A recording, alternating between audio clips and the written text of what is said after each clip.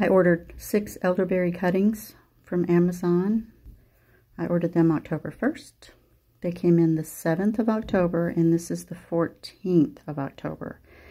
And I immediately opened them, and they were still moist, so they have not dried out. And I put them in the soil, and I have been keeping them moist.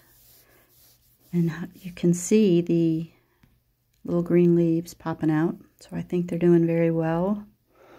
I will put the link below of where I got them and keep you updated on the progress of these little cuttings from Amazon.